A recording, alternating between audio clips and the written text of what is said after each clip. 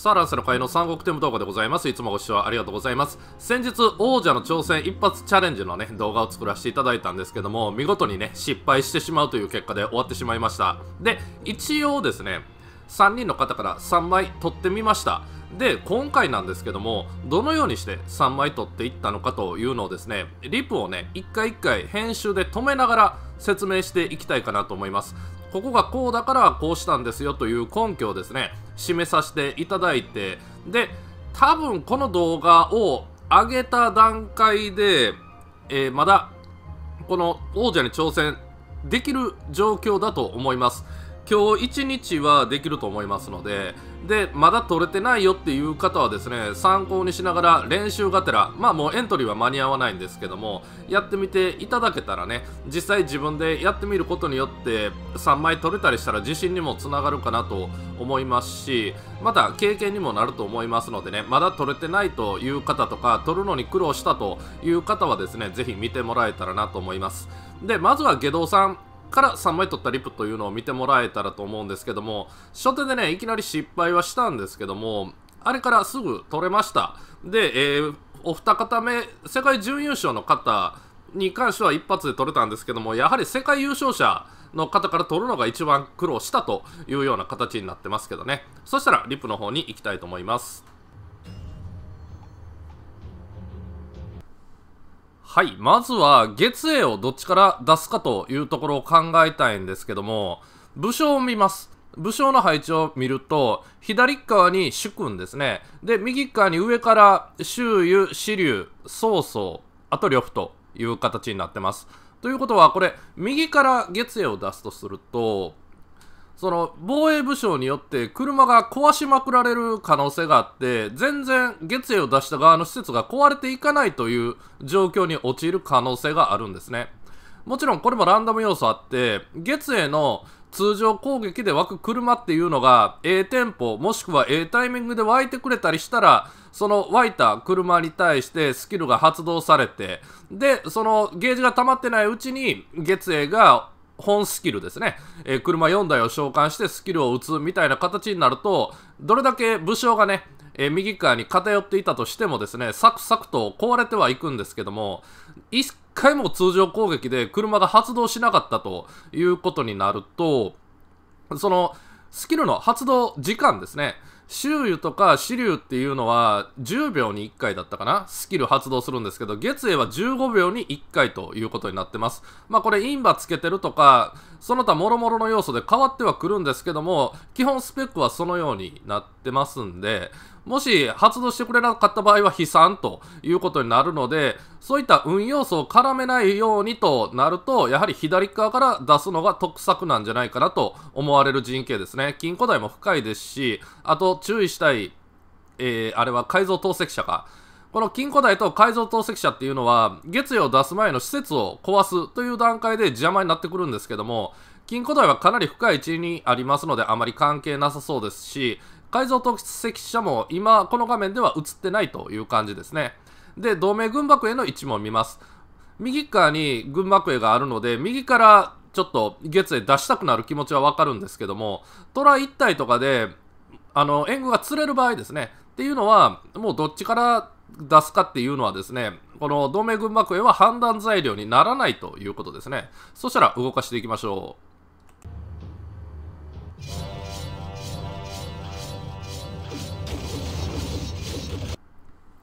はい、次は、月曜出す前に防衛施設を壊しておく必要があると思うんですけども、今回のこの陣形に対しては、えー、左から今、援軍を使って虎を10体放り込んでますけども、流砲を狙ってますよね。で、この10体で流砲とその向こうにある射撃塔ですね。この2つを壊したいなと考えてます。で、他の施設は壊す気はありません。なんで、この援軍の銃だけ使って、後の虎は温存というふうに考えております。で、こうパーッと見てね、虎で壊せそうだなって思う防衛施設って言ったら、他に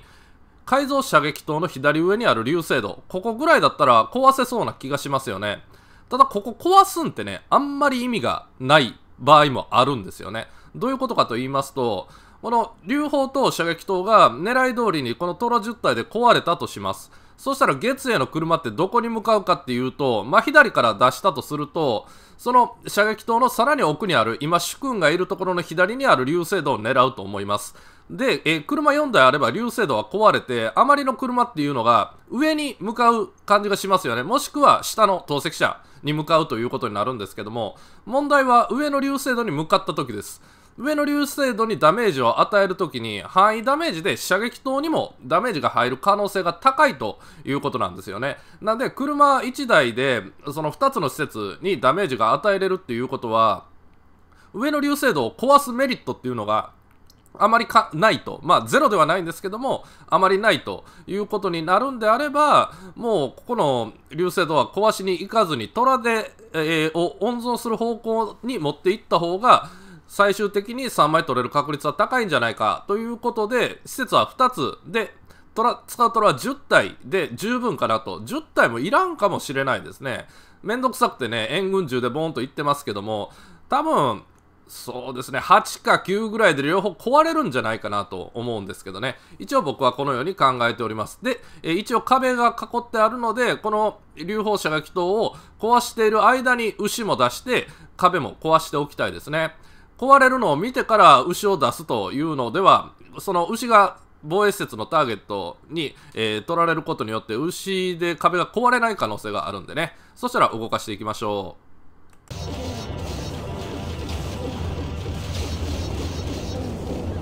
弓木兵が25ですね。利用する援軍としては一番ありがたいかなと思われますね。標準だけやったら事故の可能性ありますし、まあ数は多いですけどね。弓木兵25だったら数は多い上に自己要素も少ないということで僕は一番好きな援軍の入り方ということになってますね。で流星度を壊して上に流れた流星度が改造射撃塔にもダメージ入れましたよね。壊すことこそできませんでしたがこんな感じで、まあ、車が節約できるぐらい密接してくれてるということなんでね。えここは利用したかったなということでもう壊しにかかりませんでした。でちょっと待ちましょうか。この間何もしてないですからね。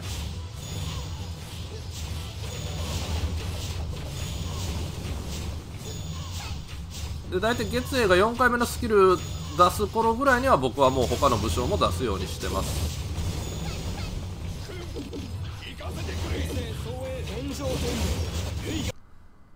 はい。下から転移を出してターゲットを引きつけつつ文王と主君を同じ方向から出しております。まあ、厳密に言うとね、5時方向と7時方向という形で違うんですけども、下側の施設を2人がかりで壊すという意味では、まあ、同時の方向から、同じ方向から出したと言うて差し障りないんじゃないかなと思います。で、この下道さんの今回の陣形はですね、アルファベットの Y の字みたいな陣形になってるんですよね。なんで、3方向を壊していけばいいという形になってるんで、で、破壊力で言うと、月英以外の武将今まだ出撃させてなかった武将で考えると周囲文王主君の順番だと思うんですよね。なんで周囲と例えば文王とかを下からタッグで出すと右からから主君しか出せないということになりますよね。だったらやっぱり右側が壊れていかないと。でこの中で特に守りたいって言ったら主君と文王この2人が耐久力が低いと。まあ、周囲も低いんですけどね。周囲も低いんですけども、まあ、特に主君が耐久値が低いということになってるんで、まあ、セットで、転移で守れるとなったらですね、ちょっと美味しいですよね。本来ですと片方しか、まあ、守れない。4方向から攻めるとなったらですね、片方しか守れないということになるんですけども、今回のように、まあ、壊したい場所っていうのが Y 字になってる場合はですね、同じようにこういっ、えー、同じ方向から出すことができるということになってますね。なんで、このような出し方をしました。で、主君は左上の施設に向かって歩いていく。文王は右上の施設に歩いていくことになると思います。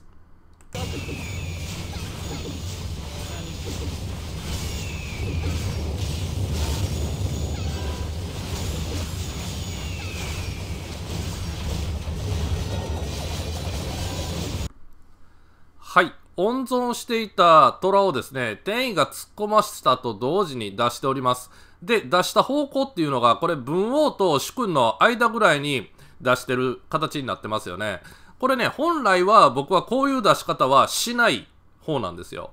どっから出すかっていうのを考えた時に、まあ残った施設っていうのを考えるのも大事なんですが、まあこうやって見たらパッと見、周遊側がたくさん残ってるなっていう風に見えるんですけども、案外ね、主君って、え周遊って破壊力が高いので、周遊側の施設って残らず消し飛んでしまうことが多いんですよね。なんで4方向から攻める場合っていうのは、文王とか主君の間、文王と主君をつなぐような形でトロをバッと出すことが多いんですけども、今回は下から文王と主君がタッグで、えー、破壊していってるっていうところなんで、さすがにこの2人を合わした破壊力に比べると、周囲の破壊力の方が劣ると。で、左側に月へいますよね。月へも右下に流れていってるっていうことで、これ、下半分にね、武将が3人も生き残った状態で、え施設を破壊し続けているという状況になってるんですよね。だったらもうこれは周遊側から出せばいいかなというふうに思うんですけども、左上ですね。左上から出しても、まあ問題なさそうに見えるんですけども、まあさすがにちょっと壊したい施設っていうのがなさすぎるので、どうせやったらね、虎で壊せるもんなら、まあ、打ち漏らしたくない施設っていうのを攻撃してもらえたらなというふうに思いがちですよね。僕もそうなので、このような出し方をしてるという感じですね。そしたら動かしていきましょう。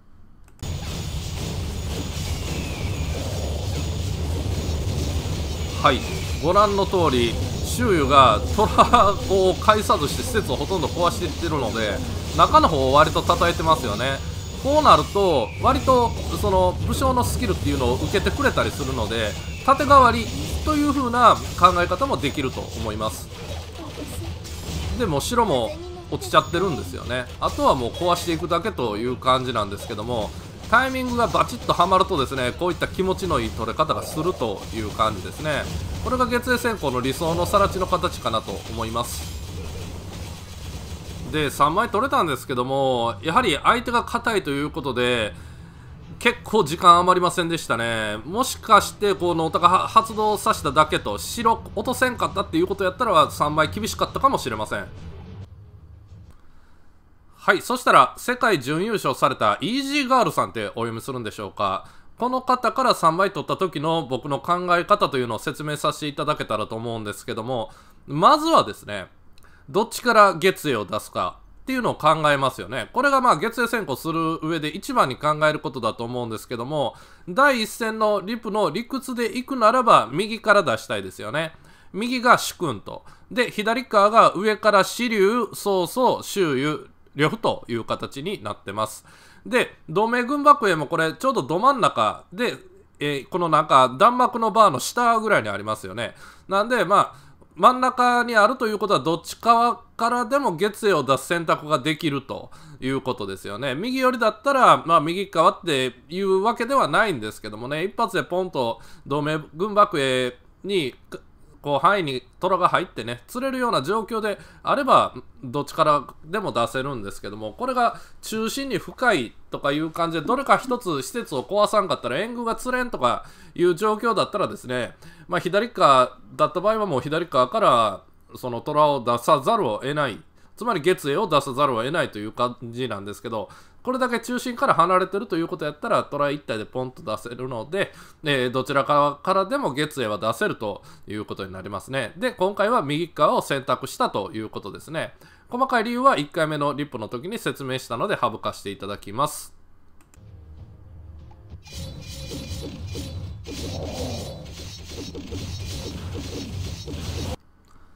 はい、月影を壊、え出す側の防衛施設の壊し方なんですけども、このような陣形の場合はですね、虎をふんだんに使って施設を壊す必要がありますよね。右側にもうすでに施設1つ壊しちゃってるんですけども、上側に2つ、下側に1つってありますよね。最低でもこれらは壊しておかないと、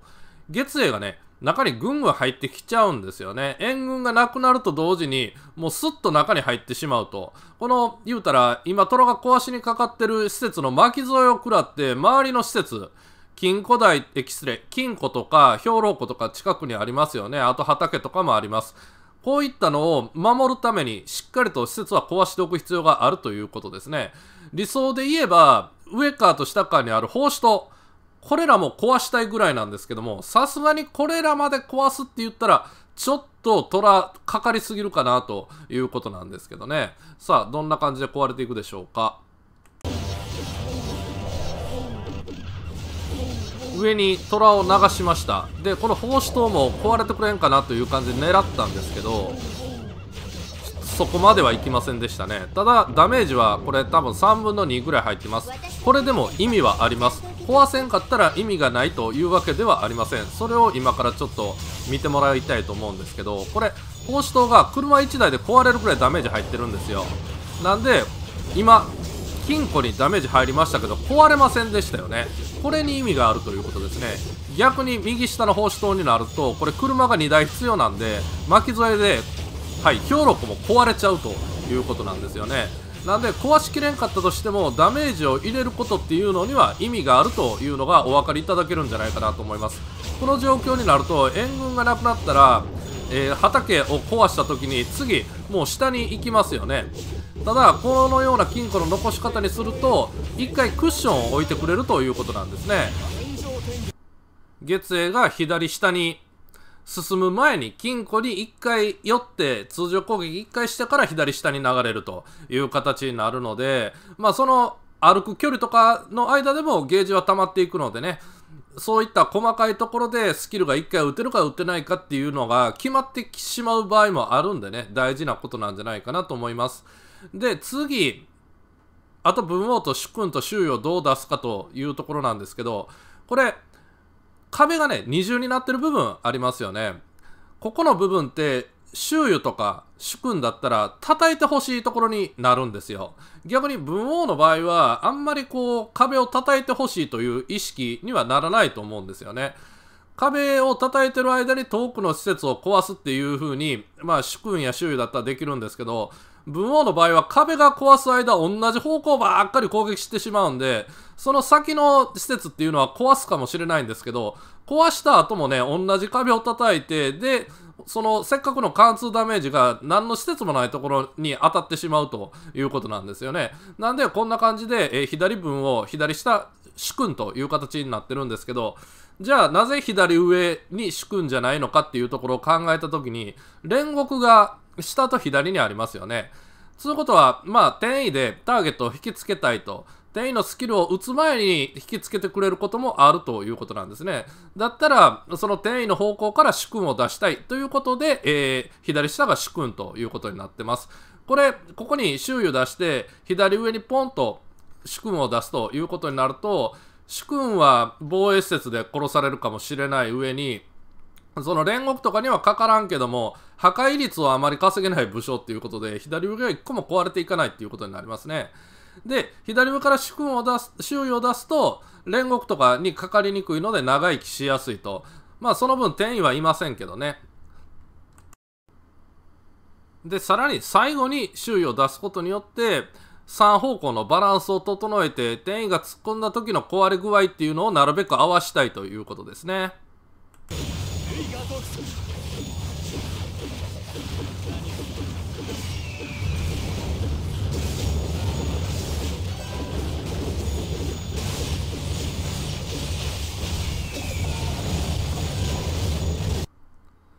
で、転移を突っ込ますと同時に、えー、一応、虎を下から出してますね。これは先ほどのリップの理屈で言いますと、周囲側はしっかり施設が壊れると。ただ、主君側はあまり施設が壊れないということを考慮して、えー、下から出してるっていう形になってますね。これ、もし、上から、周囲側から出したりすると、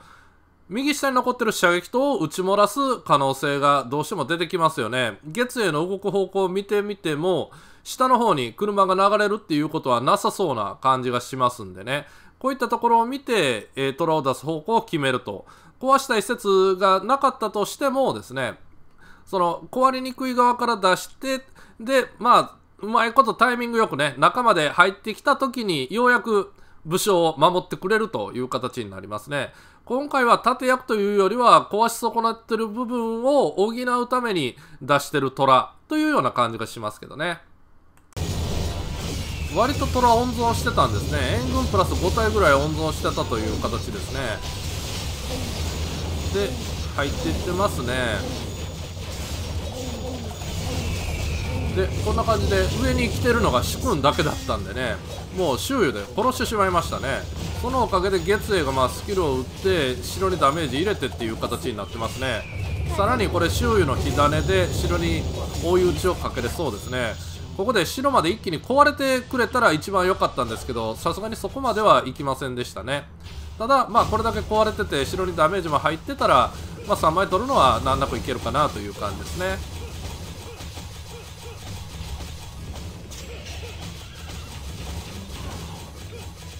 はい3枚取れました。そしたら次のリプいきましょうか。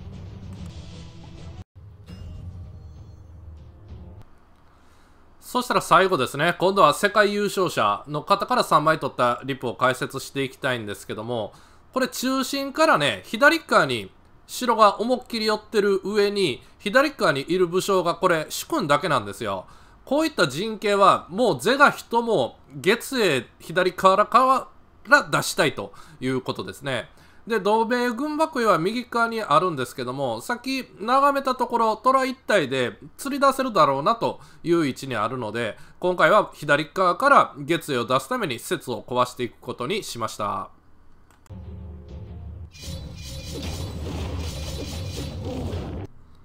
はい、そしたら虎での施設の壊し方なんですけども、城の左側に煉獄島がありますよね。できたら月へのスキルですね。一発目にこの煉獄島を狙ってしまいたいんですよ。ここにターゲットを取ってもらいたいんですよ。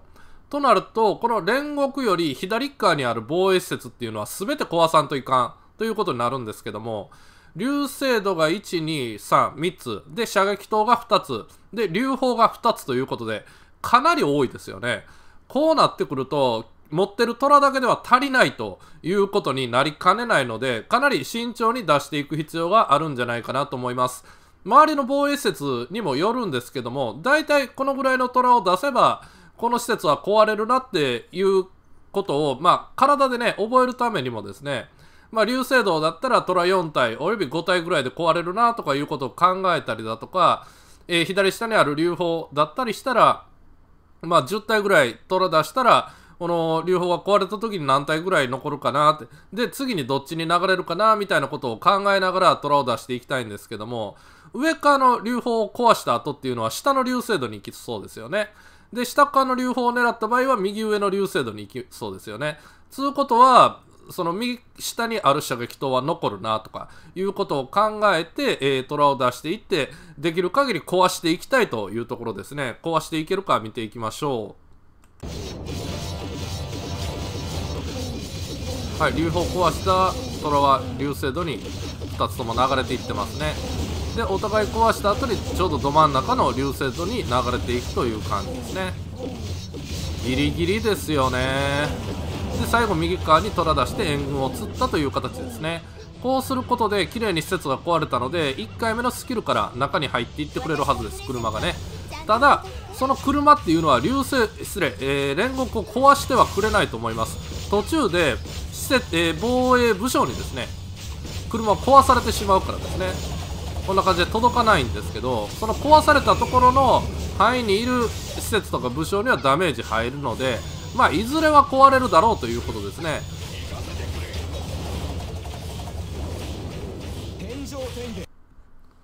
次は右側から転移と主君を出してます結構ねここの出し方っていうのが肝だったんじゃないかなと思うんですけどねえー、今画面の左側に煉獄塔がありますよね。この煉獄塔は結構厄介なんですよ。右側から文王とか周遊を出した場合っていうのは中にぐんぐん入っていってあの煉獄塔にかかってしまうんですよね。で、なおかつ煉獄塔を狙ってくれないみたいなことで、この塔にやられるっていう経験をした方結構多いんじゃないかなと思います。で、主君を出した場合っていうのは、破壊率がなかなか稼げない、時間がかかる、武将になってるので、あの煉獄にかかるまでには相当時間がかかります。なんで、え右から主君を出したいと考えたんですけど、流星度が2つと射撃塔が1機ありますよね。主君の耐久力の低さを考えると、あの3つの施設ですらきついんですよ。なんで転移をかましてるっていうことですね。これによって中に入っていく速度っていうのは上がってしまうんですけども、それでもあの煉獄島にかかるまでって言ったら相当時間があるんじゃないかなと思いますけどね。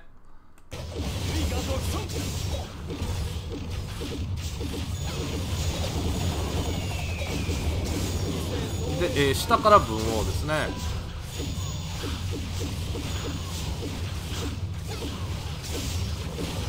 で月影は相当長いきそうですよね。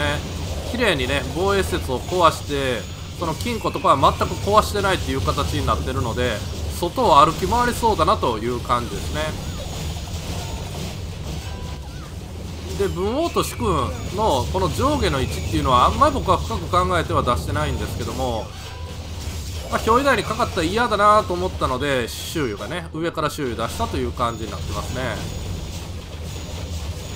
でただこれ右側に奉仕塔と改造車焼き塔が残ってますよね。奉仕塔はこれ、ま、壊れましたが改造車焼き塔は残ってしまったという形になってます。あれ壊れるんかっていう形になりますけど城はねノータカ発動させれましたね。でここで1台車が出た後スキル本体が行ってでこの本体が周囲にやられることがなかった。でさらに通常攻撃で車が出て改造射撃塔を壊してくれたということでかなりギリギリの展開になってるなっていうのがお分かりいただけるんじゃないかなと思います。なんでこの主上が左に若干寄ったこの陣形ですね。この陣形はノータカを発動させるのは飛躍的たやすいんですけども右側の施設をきれいに壊すのが難しいというような陣形になってますね。なんで真下真上から周囲と文を出してるんですけどももうちょっとですねそうですね右側よりから出すとかいう風に考えながら出しとったら、え右側に残ってた放射塔改造射撃塔が生んでなくてねしっかりと根拠を持って壊すということができたんじゃないかなと思います。はい、いかがだったでしょうか？そしたら最後、攻めて終わりたいかなと思うんですけどね、これだけ偉そうに公爵を垂れた後なんでね、すんなりと3枚取れるといいんですけどね。まあ多分この攻めながら先ほど説明したほどは喋れないとは思うんですけども、ああ、こんなことを考えながら攻めてるんだなということをご理解いただけたらなと思います。JP の方なんでやめましょうか。まあ、もうちょい軍港が上がってたらね、JP とか気にせず、まあ、攻めさせていただくという形になるんですけども、まあ、このぐらいの軍港隊だったら出るやろということですね。出ましたね。あー、あんまレベルは高くないのかなという気はするんですけども、援軍が入ってないですね。で、先ほどの根拠から言いますと、右側から出したいんですけど、月影をね。ただ先ほどと違って援軍が入ってないのでもう先主君出してしまいましょう。でここの施設をどう壊すかというところなんですけどここぐらいから援軍使って放り込んどけばこの3つは壊れるんじゃないかなと思います。でこっちの下をこんぐらいかな？これでいけるかな？あ！転移がいない。何をやってるんだ？工場のままやった。これで取れるかな。ああこれはいかん。これはきついぞ。ああやらかした。どうしよう編集でカットしようかな。けどまあもうちょい頑張ってみるか。取れないとは限りませんからね。ああ無理か。無理やなこれ。いやお恥ずかしい。う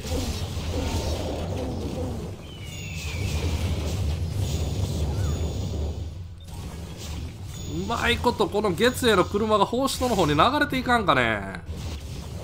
なんで壁叩くかね。もうここまでか。というわけで、えー、見苦しいところを最後お見せしてしまいましたが。店員がいたらね、なんか取れそうな流れに見えたんですけどね、残念ですけども、こんな形で終わってしまいました。申し訳ありません。そしたら今回の動画が面白かったとかためになったと思っていただける方はグッドボタンとチャンネル登録、あとツイッターのフォローの方よろしくお願いします。Twitter のリンクは概要欄です。以上です。ありがとうございました。